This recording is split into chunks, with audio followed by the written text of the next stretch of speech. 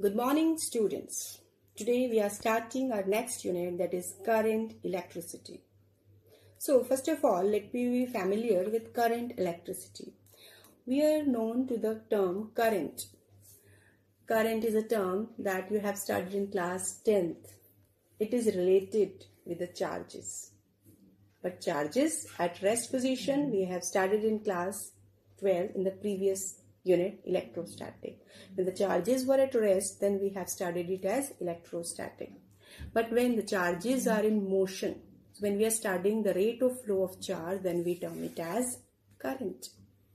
And due to the movement of charges, the electricity generated that is taken as the current electricity. So basically it is a branch of physics which deals with the study of charges in motion. So when we are dealing with charges in motion, then when the charges are moving with constant velocity, then we treat it as current electricity. And when the charges are moving such that velocity is changing. That means there is a variable velocity concept. When there is a concept of accelerated motion, then we will study then the concept of magnetism in introduced. That we will study in the coming chapters. Here, we will all study the basic concept of current electricity when the velocity is almost taken to be same. So now, if we just recall the terms we have done as current, current is taken as the rate of flow of charge as it is represented by the symbol I. This is taken as Q upon T. T is the time for which the current is flowing, uh, for which the charge particles, charges are flowing, moving. So, as we know that average current. So, when the there is a change of charge to the change of time. Like we have done the concept of average current, average velocity or if you are taking the average current then you have to be taken to difference in the change of current or you have to find the change of current sorry change of charge to the particular interval of time but if this difference of time is taken to be very small very very small. So this is taken as instantaneous current. It means when limit is imposed over the time then this will become current at one particular instant and it can be taken as dq upon dt so if charge is given and you have to calculate the value of current, what you have to do, you have to use the concept of differentiation that is first derivative of charge with respect to time. Current as SI unit of current that is ampere represented by symbol A and if you have to define SI unit, then current is said to be 1 ampere when 1 coulomb charge flows for 1 second. From here, you can give the statement also. Current is said to be 1 ampere when 1 coulomb charge flows for 1 second. Current. It is a scalar quantity. You're familiar with the scalar and vector quantity. A quantity which has only magnitude, no direction concept that is treated as a scalar. Whereas vector is a quantity which has both magnitude as well as direction. One more condition is there which obey laws of vector addition. That is taken as the vector quantity. Now see, if we are taking, suppose this is a conductor and this is connected to some external battery source now, we know that the conventional direction of current is from positive terminal of battery to negative terminal. Conventional direction of current is from positive terminal to negative terminal. It means current has magnitude as well as direction. So why it is coming under the category of scalar quantity? Listen, as for vector quantity, one condition is must that it must obey the laws of vector addition. So current is a quantity which is not following that particular rule. How? Let we understand it. Suppose here there is a circuit arrangement and current of 5 ampere is flowing. Now let it is divided into some other components. Other components may be having certain resistance. We will discuss it in detail one by one. Suppose this 5 ampere current is divided into two parts at this point. Now, here let it be 3 ampere, it is 2 ampere. So you can see here that at this point, simple algebraic law, algebraic rule of maths is applied here. 3 plus 2, 5. There is no concept of direction or the angle between the vector quantities is there. Suppose if we are taking like these two wires connected to certain circuit arrangement, this is carrying a current of 2 ampere, this is carrying a current of 1 ampere. Let they are joining at this point, meeting from this junction, this is coming to this point. So here, although there is certain angle between these two wires carrying current, but there is no concept of angle. Angle has nothing to do with the scalar quantity. Simple, the current flowing through this branch will be 3 ampere. It means there is no vector addition rule followed by the current. So that's why it is not under vector quantity. It is a scalar quantity. It can also be treated as a tensor quantity. Although the concept of tensor quantity is in detail you will get in the uh, very higher classes. So you can simply, if no tensor quantity has been given, you can simply label it as a scalar quantity. Uh, but it can be possible if in MCQs tensor word is also given, then you can take that. Otherwise, it is treated as a scalar quantity. So, current itself is a scalar quantity and and you can see the conventional direction of current is from positive terminal of battery to negative terminal. One more thing, when we are saying, actually I am taking this concept in brief because you have studied all these concepts in class 10th.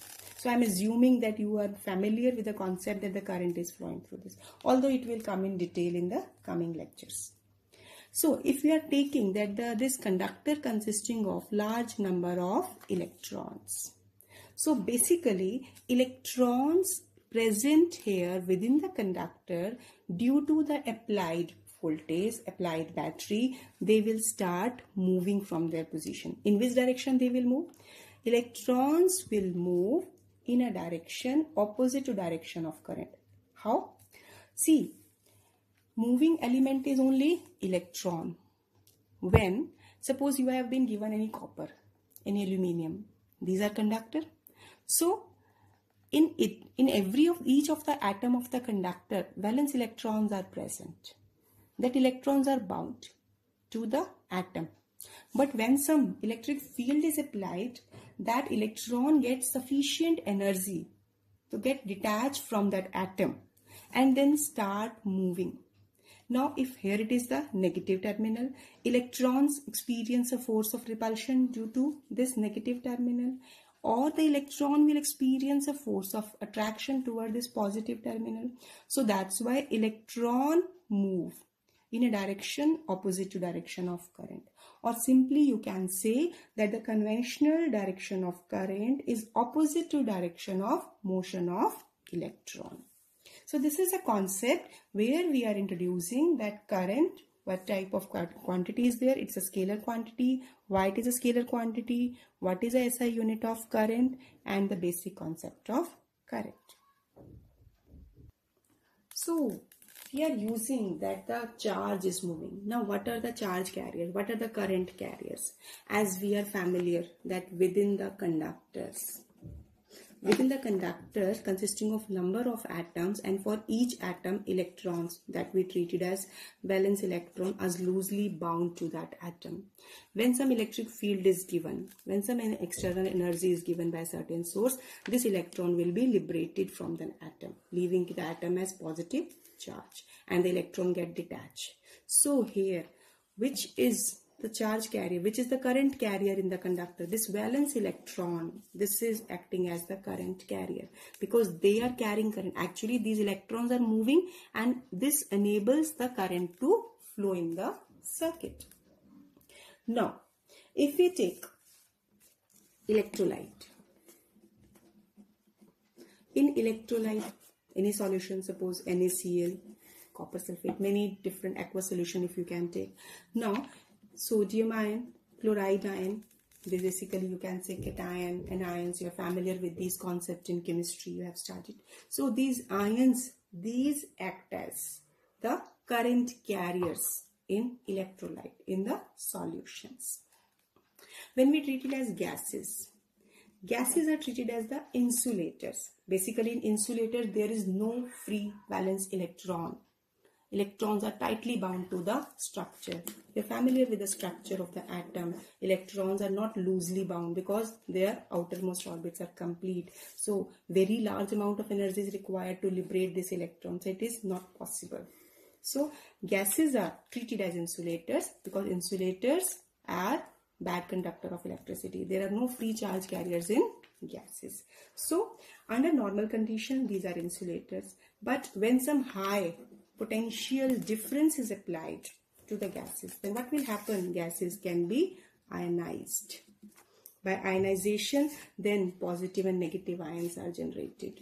Electrons and positive ions are generated. So in that case, under that suitable conditions, when ionization of gases is there, so these ions, this electron and the positive charge, these will act as the current carriers.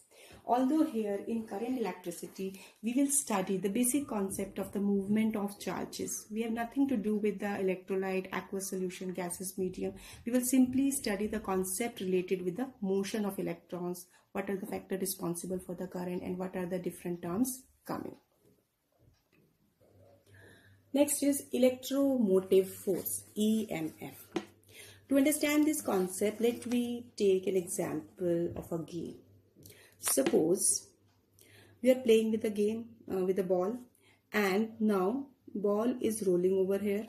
Few persons are playing with it. Now if it has to be taken to the top of the roof and then again it is falling downward again it is coming from this point again ball can be moving along the path if the persons are standing one is at this point another is at this point throwing it here then it is moving along this then it is coming down so basically what's going on?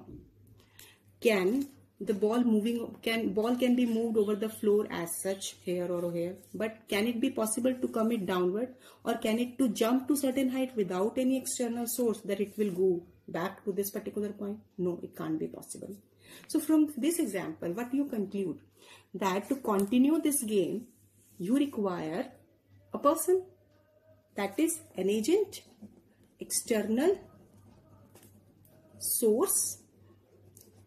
If you are playing, then you are acting as a source in transferring the ball to different heights and depths. Similarly, when coming to the concept of current, can we take, suppose you have any of the best conductor, any of the best conductor you are taking and you are not taking any other source. Suppose at your home you have every good brand TV is there refrigerator is there but you forget to switch on the supply. Will it be able to give you the output? No. So it means that external agent is your switch from where the supply is coming. Likewise electromotive force this will help you. This will act as an agent. This is the source of basically this is the external source of current cause of current See, this is a battery cell simply you can take. If this cell you are taking it has this you can take it as positive terminal, negative terminal. You have to connect it within a toy or a remote, anything where you require the working, where it is used. So when this cell is used, basically now why i'm just uh, introducing the concept here? Because now i want to give you the clear concept of electromotive force. Actually between this positive and negative terminal whatever voltage 1.5 volt or any other value depending upon its different different ratings that we can use. So initially when you purchase it from the market you get you get that its value is 1.5 volt. If if it is 1.5 volt then that is the maximum potential difference maximum potential difference between these two terminals of the cell initially i have not connected it to any toy any remote then and if i have bought new then whatever capacity is there that is stored within it So that is basically the condition that is only the electromotive force when no current is flowing through it. It is not connected in the any of the circuit. So electromotive force is the maximum potential difference between terminals of a cell when no current is flowing through it. As such, we are taking. So, suppose you are taking this voltage, this EMF EMF, electromotive force. This is 1.5 volt. But when this cell is used in any of the gadget, then after that if you will measure, then that voltage, that V is the potential difference. Suppose across any of the component having certain resistance, you are connecting this battery. Then initial when it is suppose I am connecting here a switch when the switch is open then V will be equal to E potential difference will be equal to electromotive force but when the switch is closed V will be less than E potential difference between the two terminals when current start flowing through it this is a basic difference, small difference. This can be a question of viva in electricity experiments also. I'm repeating. Electromotive force is the maximum potential difference between two terminals of a cell when no current is flowing through it, when the circuit is open. But when the same cell is connected across any external resistance and the current will start flowing through it, then that particular difference of potential between these two terminals that will be taken as potential difference. So two terms I am talking. Potential difference and EMF. In simple terms what you can say that when current start flowing then the voltage across the resistor that will be less than EMF of the cell. And cell which we are using the symbol for the cell here it is two parallel lines. This is bigger line, this is smaller line. Positive terminal, negative terminal. If you have to connect number of cells, how to connect? Negative of first should be connected to positive of second. Negative of second should be connected to positive of third and so on. So this is your battery.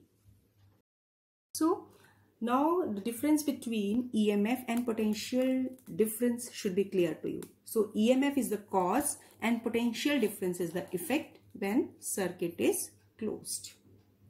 Now EMF of a cell, it depends upon nature of electrolyte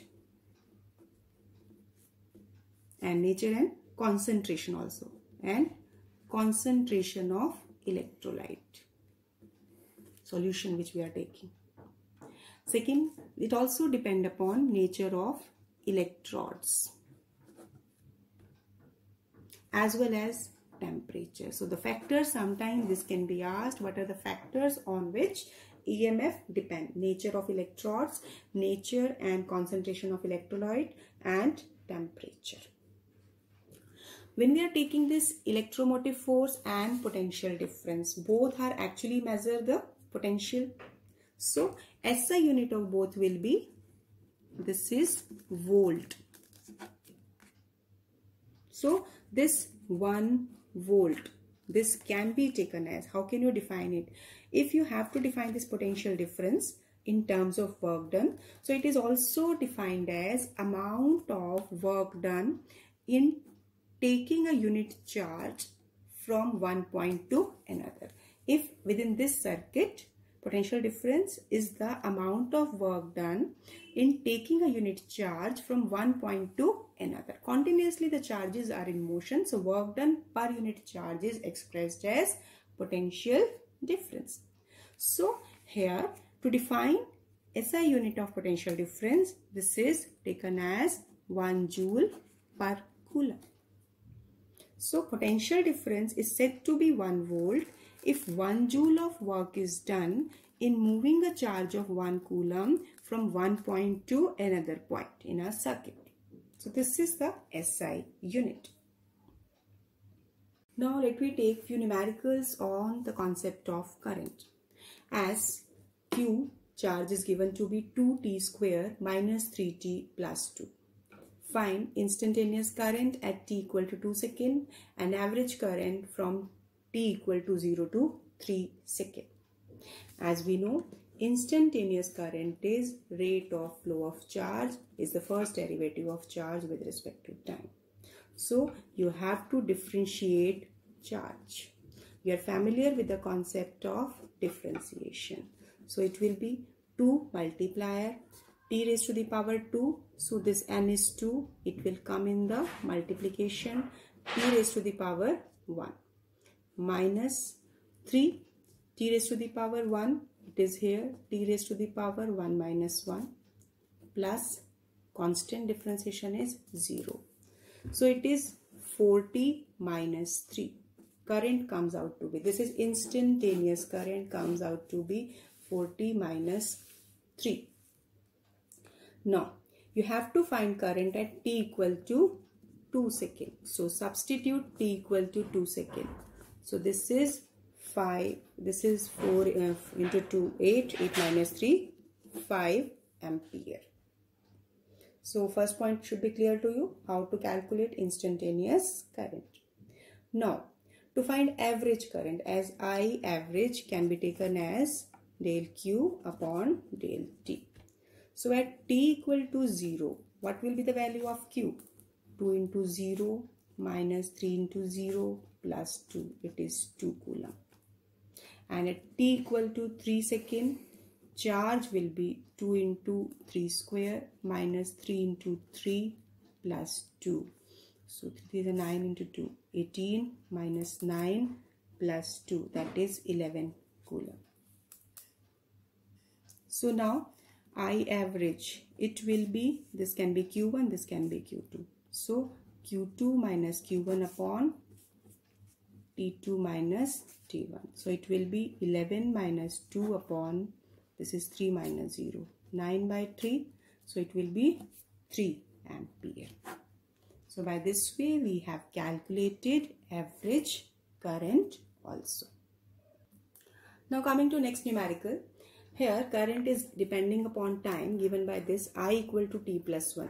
Find charge flowing through the cross section of a conductor between time 0 to 2 second. Also find number of electrons. See here current is given and you have to firstly calculate charge. So what concept and how to use it? We are familiar that the relation between current and charge is I is equal to dq by dt. Uh, if you remember in class 11th also we have used such kind of concepts in solving in kinematics. So if you have to find q, so what should you do? Just you can write it as dq is I into dt. So here you will integrate it. When you will integrate it, you will get it dq when you are integrating that means 1 to be integrated with respect to charge so it is q on the left side and current with respect to time as current is a function of time t plus 1 dt now the limit for time is 0 to 2 second so it is 0 to 2 extreme limits. Substituted this is t square by 2 plus t.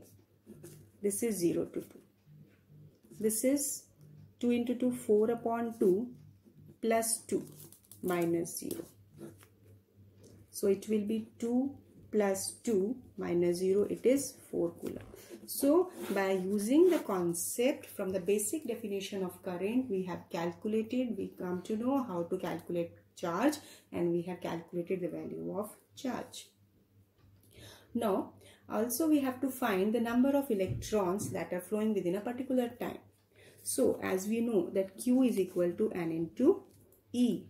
So charge is 4 coulomb. Number of electrons you have to find. So substitute the charge on electron then N will be 4 upon 1.6 10 raised to the power minus 19. Just solve it. 4 into 10 upon 16 into 10 raised to the power 19. Then um, this is 10 by 4 let me take 110 from this side so complete factor will be obtained it will be 25 into 10 raised to the power 18 so number of electrons that are obtained simply by using the concept of charge equal to ne by the quantization of charge so these kinds of concepts are co-related here you can see the main point which you have to understand it here. You cannot use directly I is equal to Q upon T or Q is equal to IT. Why? Why we have used this integration method here, not direct the step this one. Reason being because current is represented by a variable quantity. If current was given to be constant, then you can directly use this result. But if the current is variable, then you have to follow this method. So this is an important point which you have to understand.